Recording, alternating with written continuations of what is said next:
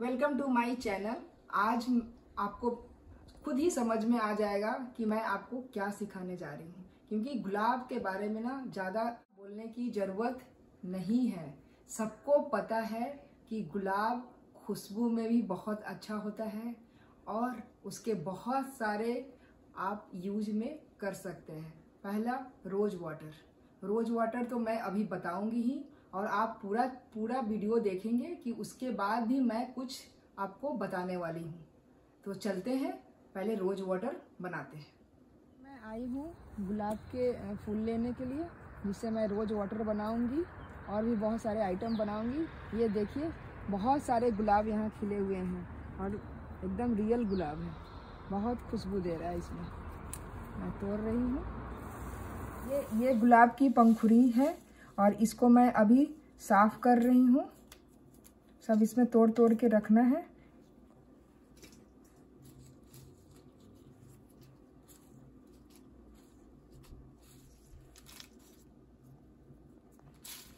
इस तरह से सारे पंखुड़ी को निकाल लेना है और इसके डंडल को अलग करना है। सारे साफ़ कर लेंगे।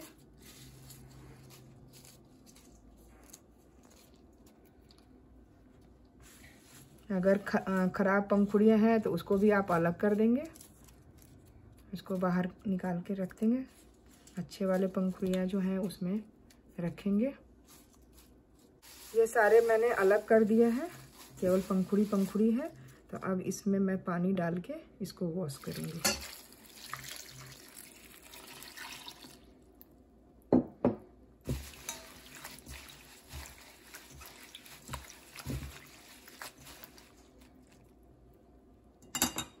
ये ओरिजिनल गुलाब है, पूरा खुशबू दे रहा है। इसको ऐसे छान लेंगे। जो भी गंदगी है इसमें बाहर आ जाए, इस तरह से।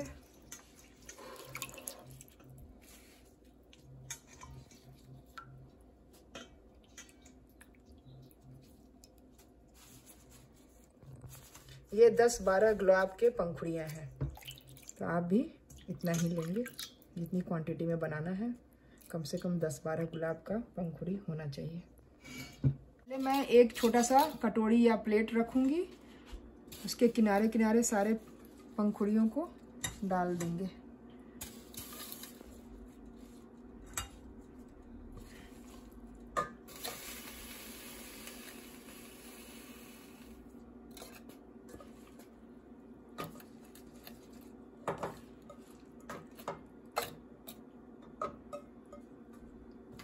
इस तरह से सारा ये कर लेंगे। उसके बाद इसमें एक दो ग्लास दो गिलास कम से कम पानी रखेंगे। छोटे गिलास से दो गिलास।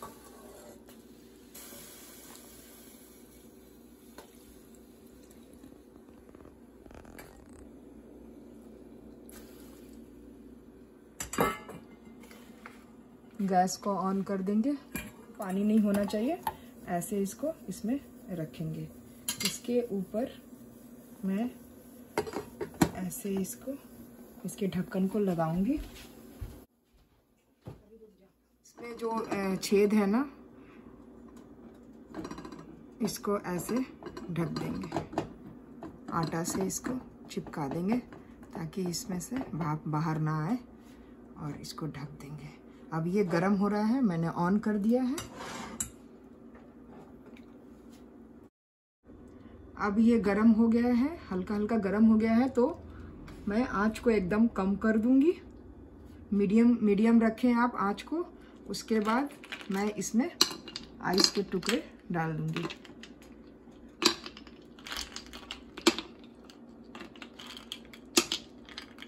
ताकि नीचे भाप बन के उसमें रोज वाटर आराम से बन सके।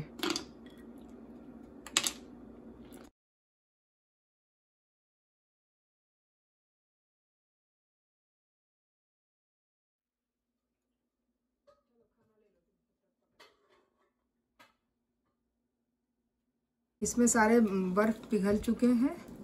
और मैं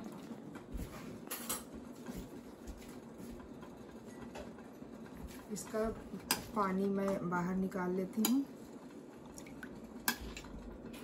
सारे बर्फ़ पिघल इसमें दूसरा और आइस क्यूब डाल देंगे। मैंने बड़ा सा जमा के रखा था।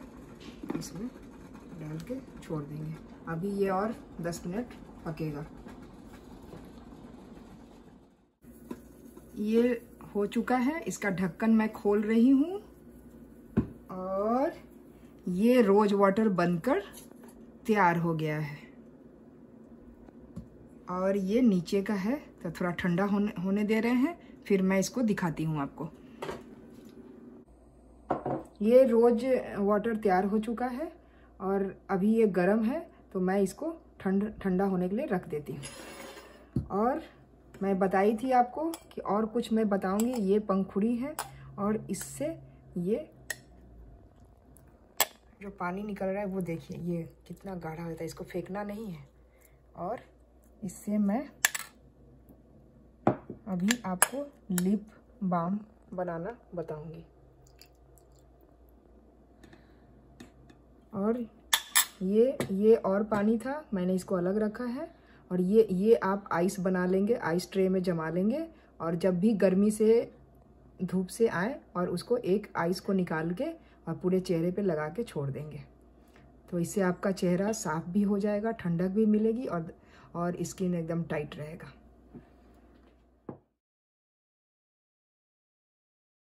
एक चम्मच एक्स्ट्रा वर्जन कोकोनट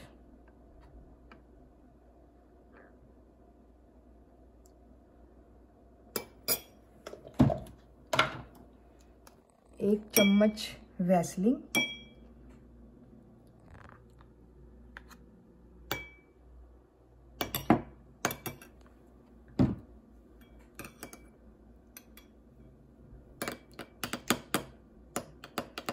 और एक विटामिन ई कैप्सूल ये विटामिन ई मैं इसमें बाद में डालूँगी, अभी इसको ऐसे मिलाते हैं। इसको जब तक ये पूरा पूरा बहुत सारा मिलाना होगा इसको, बहुत मिलाना होगा, जब तक ये पूरा लिप बाम की तरह एकदम मेल्ट ना हो जाए। और इसे आराम से आप अपने लिप में डेली यूज़ कर सकते हैं फ्रिज में भी रखें, बाहर भी रखें। अगर अगर ठंडा का दिन है तो आप बाहर रख सकते हैं। गर्मी में आप इसको फ्रिज में रखें और कहीं भी बाहर जाने के पहले आप इसको लगा लें। तो लिपस्टिक लगाने की ज़रूरत ही नहीं पड़ेगी। में मैंने पानी थोड़ा सा डाल के और इसको रख दिया है कि जल्दी से ये मेल्ट हो जाए।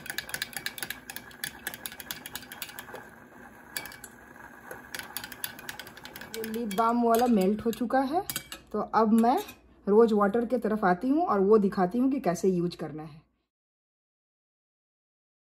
तो पहले मैं इस इसमें एक जितना आपको यूज़ करना है ना तो आप उतना लें।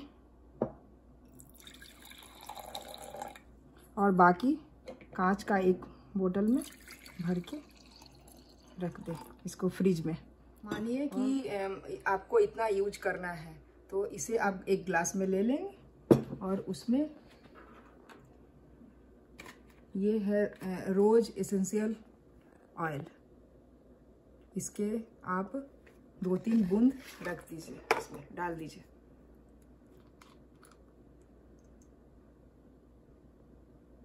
वाह, कितना खुशबू आ रहा है। वाह। मुझे तो बहुत पसंद है रोज की खुशबू। बहुत पसंद है। दो चार बूंद डाल दिए और इसको एक कंटेनर में, साफ़ कंटेनर में, इसको डाल देंगे।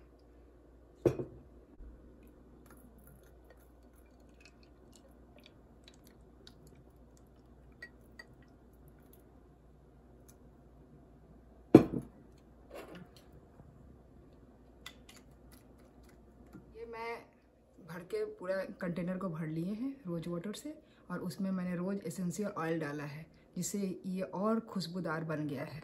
अब इसे आप कहीं भी जाए मेकअप कर लें, ये पूरा डाल लें, इस तरह से। और कहीं से धूप से आ रहे हैं ना तो आप मुँह को साफ़ करके फिर ऐसे कर लेंगे। ये हुआ। और आपको खुशबू भी देगा, और इसका फ़ायदा भी आपके चेहरे को मिलता रहे। रोज़ वाटर को आप बंद करके एयर टाइट में फ्रिज में डाल देंगे।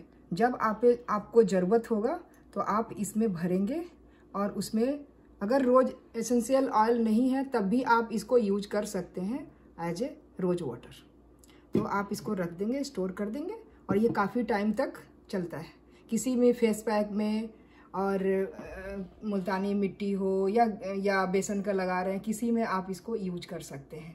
या मान लीजिए कि कहीं से आप आ रहे हैं, मेकअप क्लीन करना हो तो ये आपका बहुत फ़ायदेमंद होगा।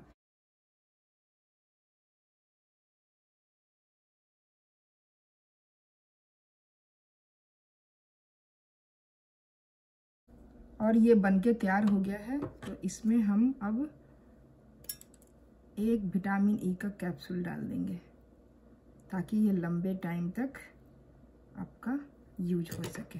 ये ख़राब नहीं होता है। और समर में भी आप यूज़ कर सकते हैं।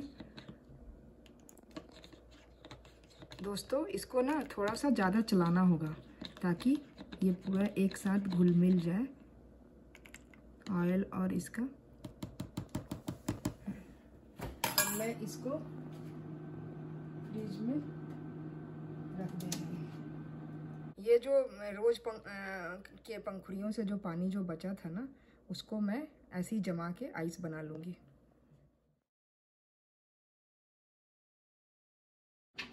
अब मैं देखती हूँ कि तैयार हो हाँ तैयार हो गया है ये और आइस भी जम गया है इसके। अब देखिए ये लिप बाम रेडी हो गया है और इसको मैं लगा के दिखा रही हूँ। कहीं भी बाहर जाने का थोड़ा सा निकाले फ्रिज से और इसको ऐसे लगाएँ लिपस्टिक लगाने की कोई ज़रूरत ही नहीं है। और ये आइस मैंने जो रोज़ से निकला था ना, उसको मैं आइस जमा ली हूँ। जब भी आप नहा नहाने के बाद इसको एक बार अपने चेहरे में ऐसे ऐसे लगा लें। पूरा रेड रेड पिंक पिंक आपका चेहरा हो जाएगा। गुलाब की तरह कलर आ जाएगा।